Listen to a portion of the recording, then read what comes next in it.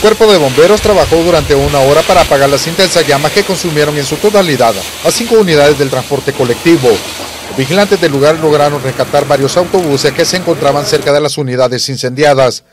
El siniestro se registró en un predio que se utiliza para parquear unidades de la ruta 7D y 41B en la colonia Bosque del Río de Soyapango.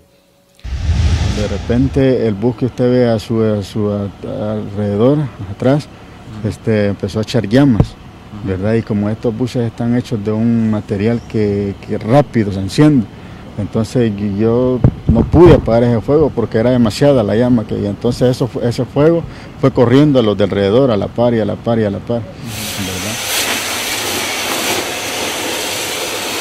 Al lugar llegaron los propietarios de dichas unidades, los cuales consideran que hoy se quedaron sin su fuente de ingresos económicos, ya que las pérdidas son irreparables. Ustedes ven, ven hasta esa que está ahí, que más al frente también son otros daños. ¿Verdad? Agregados más a, lo, a la pérdida que ha pasado. ¿No los tenían asegurados? No, el, buses de transporte colectivo, hasta ahorita no hay ni uno asegurado en todo lo que es el país. Pérdida irreparable. Pérdidas irreparables. La hipótesis más fuerte que se maneja sobre este incendio es que una de las unidades presentó fallas en el sistema eléctrico del autobús, pero no descartan que puede existir mano criminal.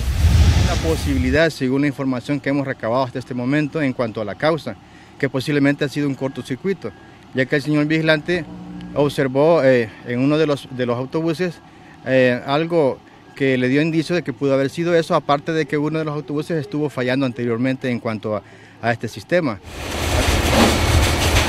Dos motobombas y una cisterna fueron necesarias para controlar el siniestro. Sin embargo, los propietarios de las unidades piden a las autoridades investigar a fondo, ya que de encontrar que existió mano criminal en este hecho, se haga justicia. Y aunque no hubo víctimas que lamentar en este siniestro, los propietarios de estas unidades ya hablan de cuantiosas pérdidas que ascienden a los 125 mil dólares. Edgardo Portillo, Noticiero Hechos.